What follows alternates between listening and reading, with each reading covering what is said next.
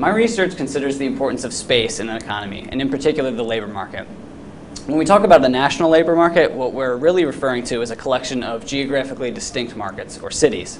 And the reason I think a city makes a more natural unit of analysis for a labor market uh, is the simple fact that uh, a city is the, the area in which a person is constrained to live and work within a period of time. So the question is, does this matter to the economy at all? Does the very fact that an economy is organized into geographically distinct markets, can that affect the dynamics of the labor market? How do people choose where to live and work? And ultimately, uh, can we improve the allocation of workers over space? When you think about the question of where people choose to live and work, you quickly realize that there are many dimensions of heterogeneity between cities.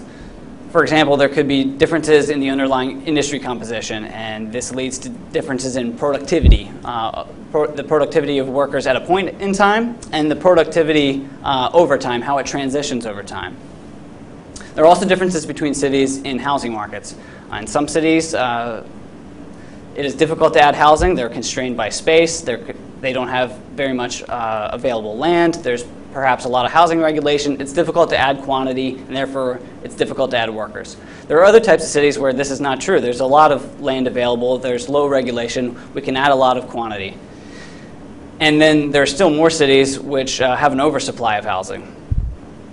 Cities also differ in their uh, naturally endowed geographic features. Their point in space, some are close to other cities, some are uh, far away.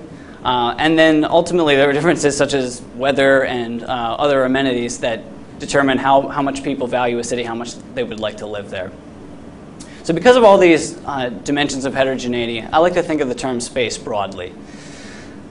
If, if there were not differences in productivity between cities, then we wouldn't care about space at all. So fundamentally, that is, is an important part of what I mean by space.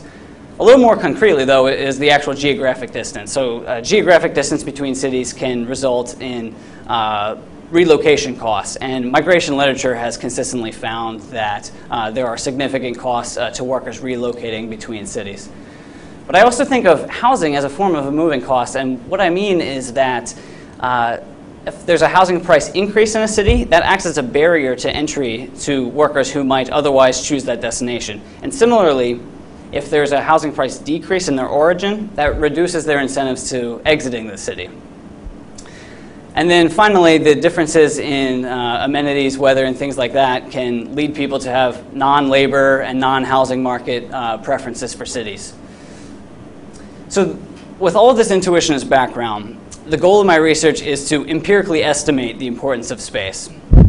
In my job market paper, what I, what I do is form a dynamic spatial equilibrium model to try to estimate the size of frictions in the economy and then uh, quantify uh, the difference in, in frictions in an economy without space. And the reason it's a dynamic spatial equilibrium, well, it's dynamic because the migration decision uh, is a dynamic decision for a worker because of moving costs. If they have to pay a cost to relocate, they're going to weigh uh, current costs against uh, future benefits. The spatial element is because of all the dimensions of heterogeneity I, I just uh, explained.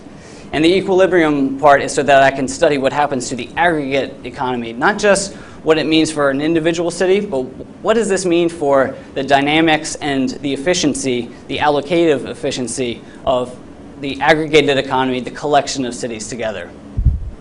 And I find that if we were to reduce moving costs, or if we were to reduce the importance of housing in, in an economy, we could find a, a, meaningful increase in worker mobility across locations, and that could lead to um, an improved allocative efficiency. We might see a decrease in the unemployment rate of the order of a fifth of a percentage point uh, up to even a full percentage point